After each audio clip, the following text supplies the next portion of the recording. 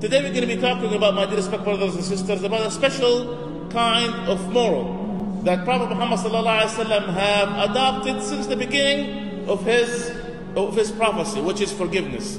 Or in Arabic, there's multiple words, but we're going to be using one, which is al-afu. How Prophet Muhammad used to forgive. We're going to be starting, in order for us to kind of understand what is al-afu and what is forgiveness, we're going to identify it. What does it mean in Arabic? Al-afu. And then we're going to be talking about how in Arabic there is multiple words for forgiveness. And we're going to be talking about how when you read the Quran, you will see several words that we only tend to mistranslate to only forgiveness.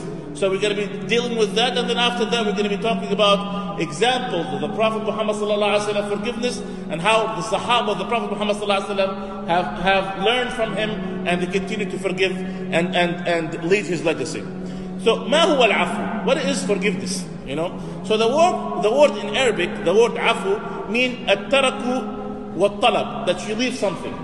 When, when, when, I, when I say somebody have done afu, mean he left something.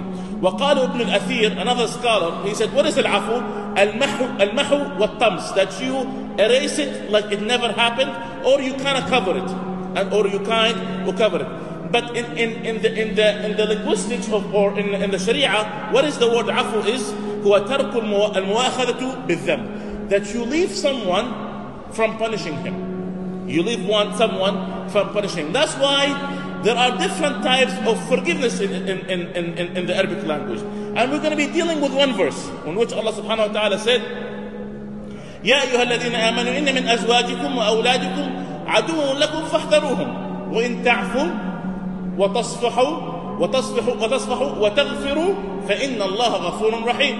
So in, in Arabic language now, when somebody asks you, Allah subhanahu wa ta'ala said, indeed some of your some of your wives and your, your sons can be your, your enemy.